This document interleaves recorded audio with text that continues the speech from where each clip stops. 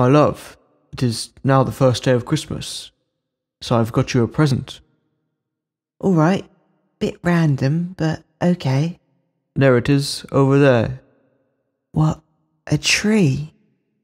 Oh no, don't be silly. It's the partridge in the tree that's the present.